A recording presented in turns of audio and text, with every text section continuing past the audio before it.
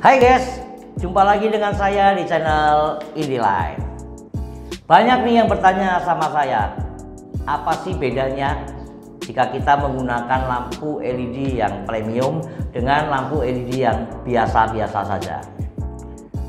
Kalau kita bilang dari soal harga, lampu LED yang biasa-biasa saja dengan yang premium itu harganya yang premium itu bisa 5 bahkan 10 kali lipat daripada harga lampu LED yang biasa-biasa saja. Nah, kita udah keluarkan uang yang begitu lebih banyak.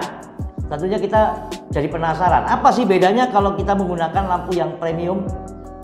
Kalau kita lihat dari uh, bentuk, ya kan, ya itu kita sudah tahu ya bentuk premium lampunya lebih halus, lebih bagus, lebih keren.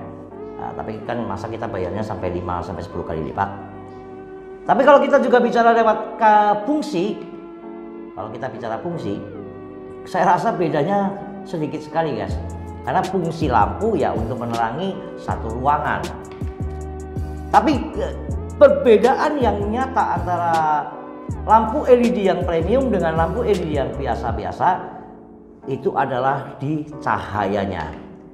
Dirasa saat kita berada di bawah cahaya lampu premium dengan rasa di bawah kita menggunakan lampu LED yang biasa-biasa saja.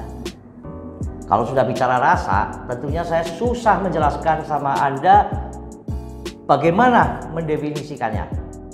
Tapi saya bisa mengibaratkan seperti Anda e, mungkin pernah makan cabai kepedasan. Kemudian saya bertanya sama Anda, bagaimana rasa pedas itu? Nah, tentunya Anda sulit menjawab. Karena pedas itu bukan berarti kita berkeringat atau mulut kita uh, seperti ada terbakar ya. Bukan seperti itu. Atau saya juga bisa mengibarkan sama Anda, Anda menggunakan handphone uh, kelas flagship dengan kelas handphone yang biasa-biasa juga. Apa perbedaannya? Tentunya kalau kita menggunakan handphone yang premium, kita mendapatkan sesuatu rasa yang berbeda Walaupun di dalam handphone kedua handphone itu yang biasa maupun yang kelas flagship atau kelas premium itu menunya hampir sama semuanya. Tapi kita beda saat kita menggunakan, mungkin di kecepatannya, kemudian di revolusi gambar, apa revolusi gambarnya, ya itu berbeda. Nah, demikian pula dengan lampu LED uh, eh, yang premium.